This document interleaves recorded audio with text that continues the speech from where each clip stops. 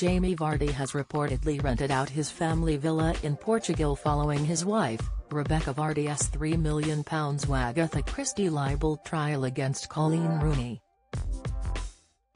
After the warring Wags lawyers finished their closing statements last week, Rebekah and her husband Jamie are now reportedly advertising their lavish Portuguese property which boasts a six bedrooms, a sauna, and a steam room. The couple have previously enjoyed lengthy getaways in their exotic villa to escape the stress of the last couple of years, but they have seemingly made the decision to rent it out to others following the libel trial against Rooney.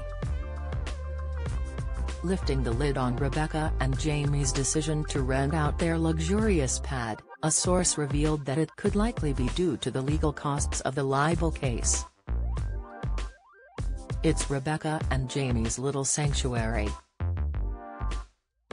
they love getting away from it there, especially with such a lot of stress over the last few years, the insider told The Sun. They've decided to let it, however, and will be extremely careful about who uses it. The decision may be related to the legal costs from Becky's case. Even on Premier League wages it's a big bill, they added. Jamie and Rebekah's luxury villa sounds like the ideal place to lap up some rest and relaxation as it boasts six large bedrooms, three pools, a gym, a sauna and a steam room.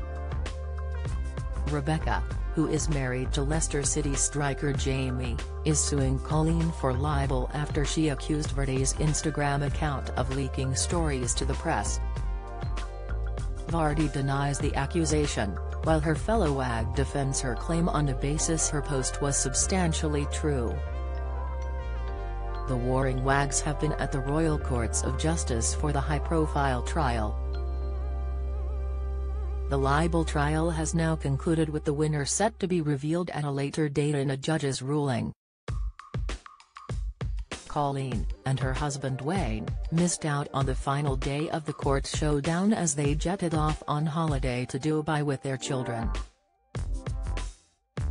Following a stressful number of weeks, Coleen and Wayne have been enjoying some chilled-out family time in the United Arab Emirates with their sons Kay, 12, Klay, 8, Kit, 6, and Cass, 3. Much to the delight of her followers, Coleen has been sharing several updates since landing in the desert, and has posted a number of sweet family snaps as she awaits for the verdict of the libel trial. According to a close friend of the WAG, Coleen jetted off to Dubai feeling confident that she had won the case. After the trial, Coleen had a cup of tea and packed her bags for holiday, confident she had won, a source close to Coleen told Sunday Mirror. She isn't counting her chickens as she knows the ultimate decision lies with the judge, but she's adamant she has told the truth throughout and that justice will prevail. The Mirror has reached out to Rebekah Vardy's representatives for comment.